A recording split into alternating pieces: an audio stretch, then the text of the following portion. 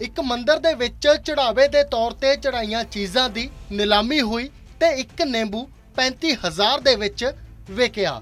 ਦੱਸਦੇ ਕਿ ਭਗਵਾਨ ਸ਼ਿਵ ਨੂੰ ਇਹ ਨਿੰਬੂ ਚੜਾਇਆ ਗਿਆ ਸੀ। ਬਾਕੀ ਫਲਾਂ ਤੇ ਹੋਰ ਚੀਜ਼ਾਂ ਦੀ ਵੀ ਨਿਲਾਮੀ ਕੀਤੀ ਗਈ।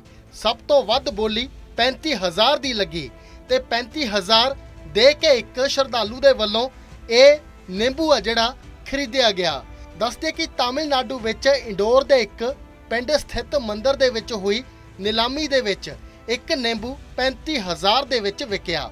ਮੰਦਿਰ ਦੇ ਪ੍ਰਬੰਧਕਾਂ ਅਨੁਸਾਰ ਪਰੰਪਰਾਵਾਂ ਦੇ ਮੁਤਾਬਿਕ ਇੰਡੋਰ ਤੋਂ 35 ਕਿਲੋਮੀਟਰ ਦੂਰ ਸ਼ਿਵਗਿਰੀ ਪਿੰਡ ਨੇੜੇ ਪੰਜਾਪੂ ਸਾਈਨ ਮੰਦਿਰ ਵਿੱਚ ਸ਼ੁੱਕਰਵਾਰ ਰਾਤ ਸ਼ਿਵਰਾਤਰੀ ਦੌਰਾਨ ਭਗਵਾਨ ਸ਼ਿਵ ਅੱਗੇ ਚੜਾਏ ਗਏ, ਨਿੰਬੂ ਅਤੇ ਫਲਾਂ ਸਮੇਤ ਹੋਰ ਵਸਤਾਂ ਦੀ ਨਿਲਾਮੀ ਕੀਤੀ ਗਈ।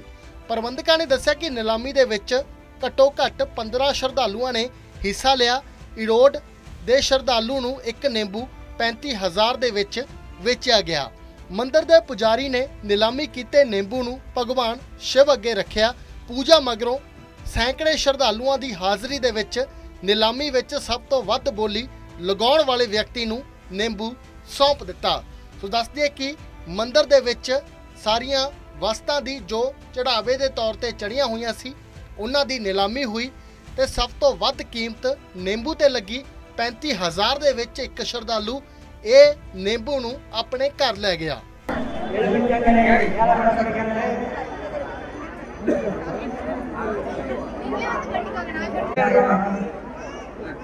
ஐயாயிரம் சாமி பாசங்களை ஐயாயிரம் ஆறாயிரம்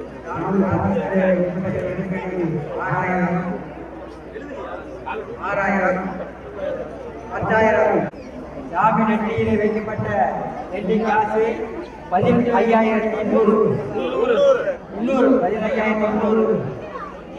ஐயாயிரத்தி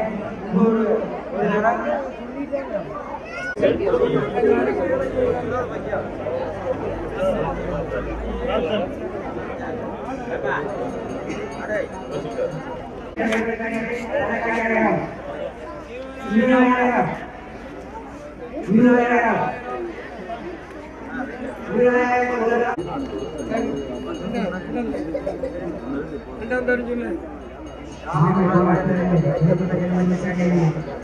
ಹುಡುಗರು ಗಂಟೆದಾರ ಪದಿನೈದು ಗಂಟೆದಾರ ಪದಿನೈದು ಗಂಟೆದಾರ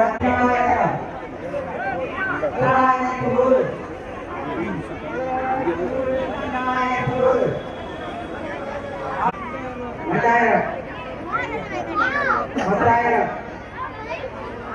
ಒಂದಾಯಿರು